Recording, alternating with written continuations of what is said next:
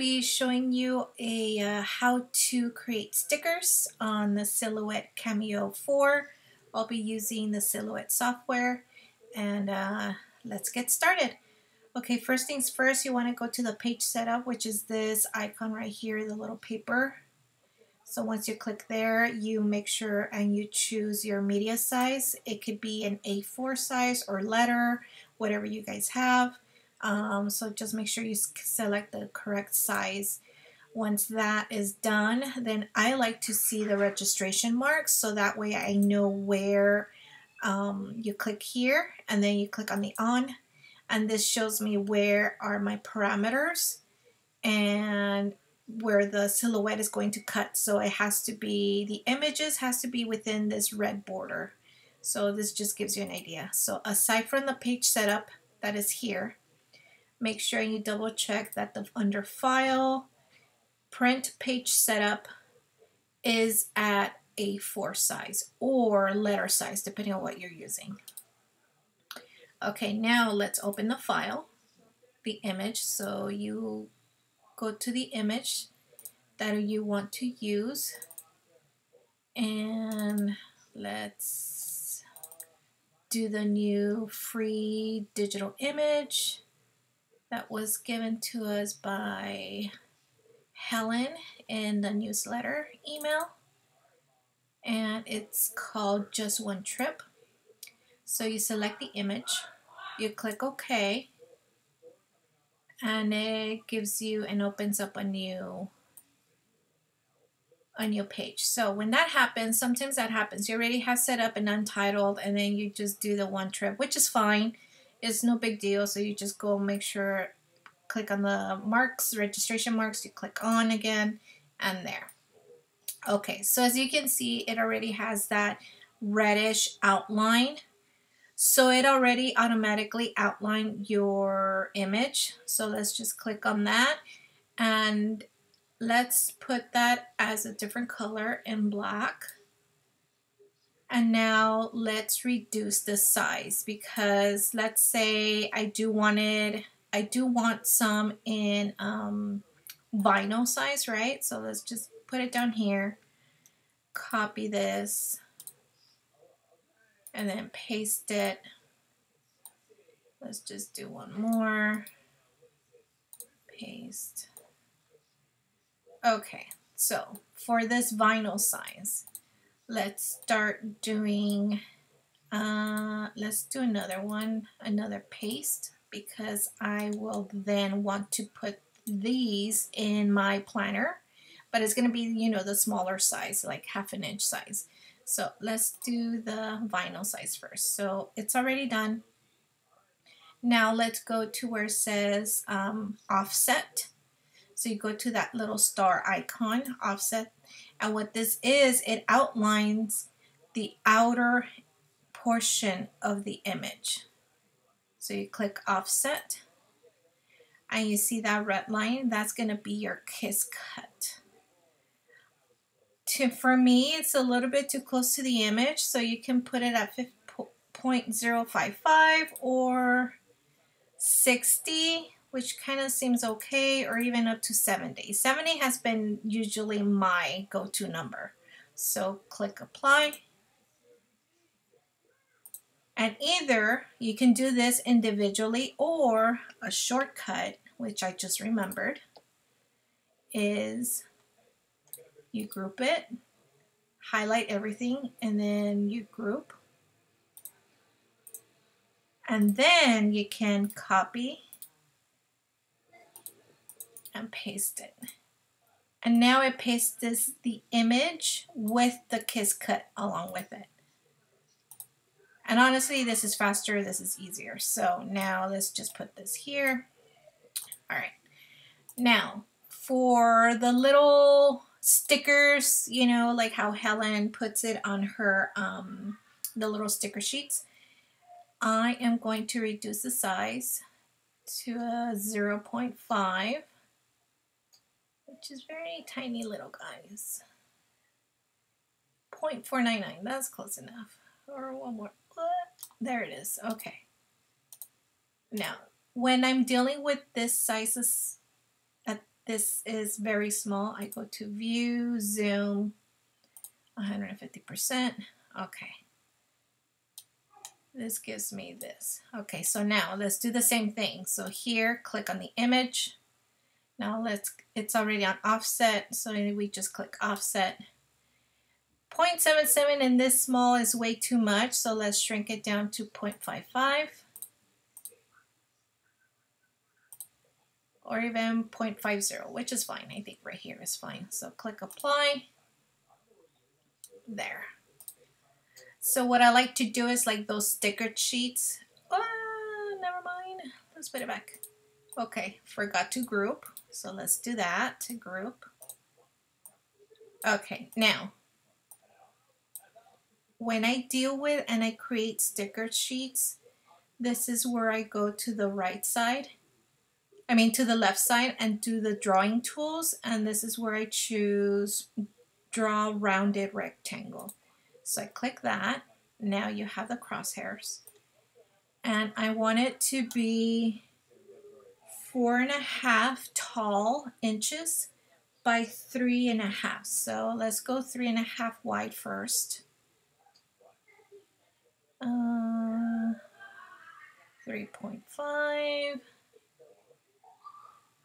I'm almost there. Okay, 3.52. That's close enough. And then, oops. Click on the image, and now let is, let's just move it down to four and a half tall. Uh, almost there. Right there. That's close enough. So here, these little red dots, as you can see, can create the curvature even more. I kind of like it rounded, so this is perfect. And this is going to be an actual full cut, not the sticker, you know, just the sticker page. So this, I wanted to fully cut through and through on the paper. So for me to determine the different types of cuts, it's best to change the colors and I usually use the full through cut in a blue color. This tells me, okay, this is going to be the actual, you know, being cut through the page. So let's just move it over here. Remember, as long as your image is within the red border, you're fine. Okay, so now let's get this guy and let's start copying pasting. So let's click here, copy, paste. And what I like about the software is that it kind of uh, lets you align. So if you see the bottom line of the image, it makes it seem like it's on the same line, straight line, not all over the place if you're crooked. So this helps a lot. Let's just do either four images or five images per row.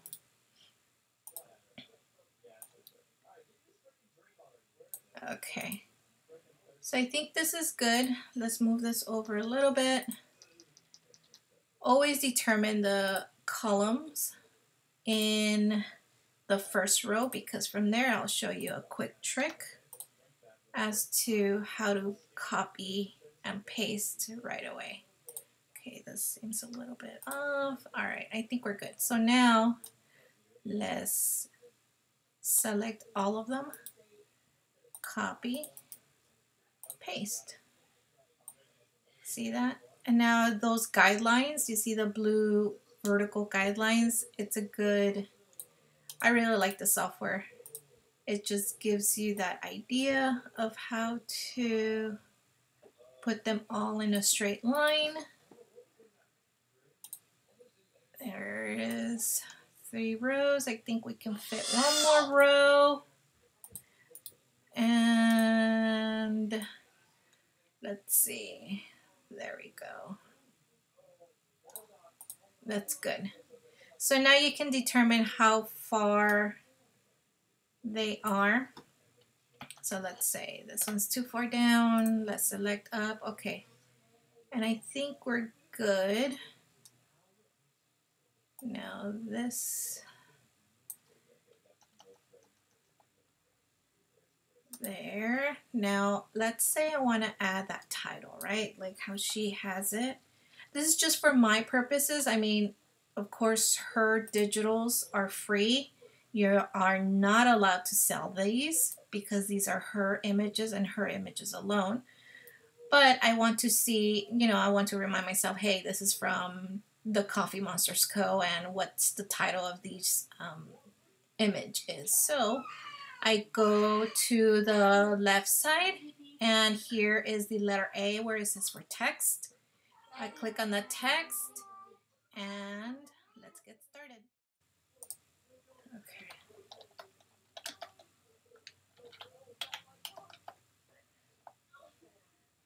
Okay, let's just highlight it.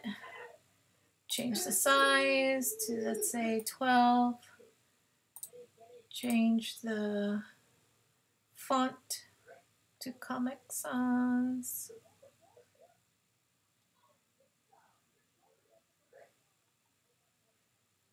Okay, there we go. And let's continue typing. Coffee Monsterz Co. Okay. So now let's fill it in. Uh, let's say I want it in black, right? And then I guess you can go to where it says um, open the fill panel and this little paint guy on the right side. So you click there. And now you want to, I usually do it in black. And so you fill in the color in black. Okay, so now what I do is I just copy um, copy, paste. Now I'm moving this down here. I'll be changing the text to just one trip. Let's say I want this text to be smaller, so of course you can always, whoops, change the font size, let's say to 10. There. Okay, now you have one sheet, right? Let's say, and your page can fit at least two because you already did the vinyls here, right? So now let's all select all. You click group. So now you're able to move this around to approximate. Make sure that you don't overlap with the marks, the registration marks, because the um, this is a guide to help the Cameo to cut it. So now you select it, copy, paste. So now you just need to move it. Move it out this way.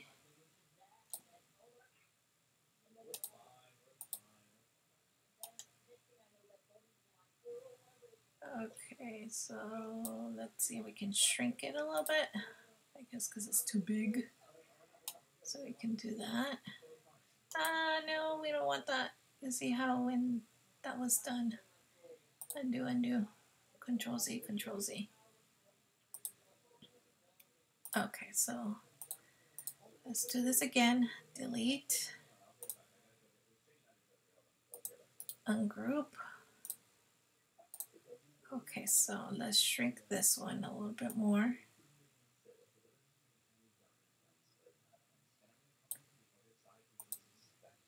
Let's move these guys a little bit more to the left. All right, now let's let's try this out. Let's just copy the border just to make sure that it does fit up. Copy, paste. Okay. All right, that's better. I think this is the size for this A4. Okay, so let's just delete this. Now group all, group. Okay, now copy, whoops. Let's select that, copy, paste. Okay, and you can see the guidelines is on the horizontal and vertically all over on, on top of each other, which is fine. That's what we want so that the cut will just be on the same line. So there you go. So here's your two sheets. So let's just say that you're going to create these vinyls, but at least I, I already showed you how to do the offset. So let's just remove this for now. And let's say you want four sheets per page, right? So you just paste it again. You move it down to where it'll go. And then paste again, another one. There you go. And that's it. Let me zoom out so you guys can see how it looks. This is what it's going to look. So once you have this, right, you have your blue where you're going to be cutting through the page thoroughly. And then you have the red where we're just going to do the kiss cut and not going to cut through the page. So once you have this done, then you go to print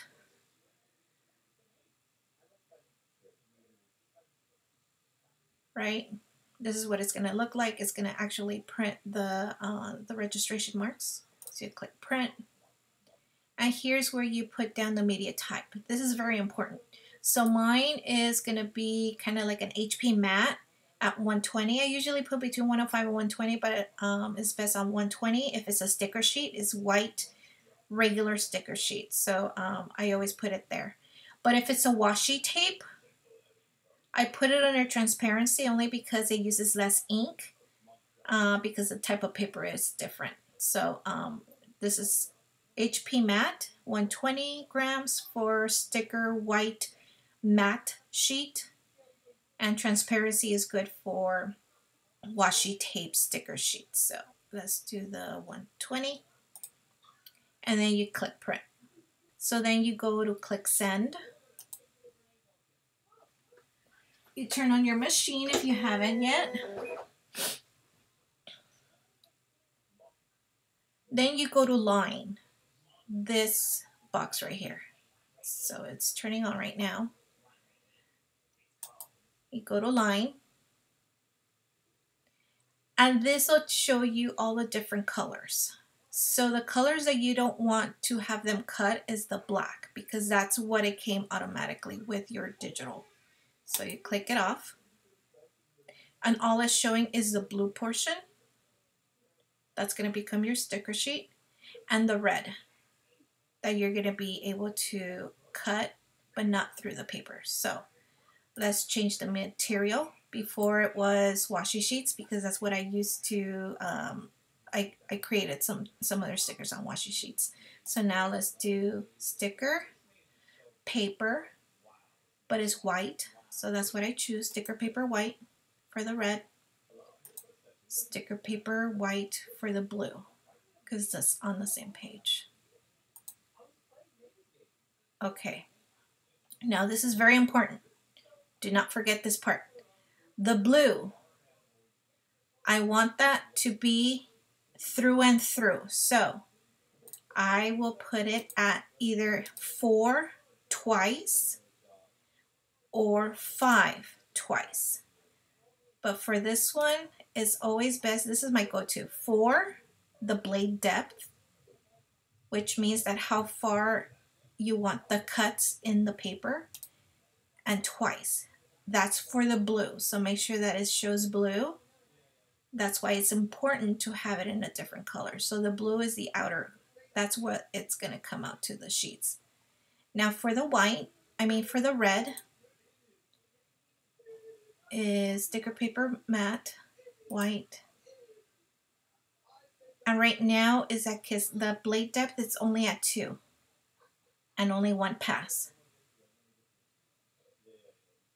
so if you know any other sticker sheets from any other shop you know it doesn't go through the paper but it just the paper enough where you can just peel it off and it's a sticker and you just put it on your planner so that's what this means once you're done and you select which depth for the red, I usually put two, one pass, and the blue, which is a four and two passes. So it'll cut through the paper.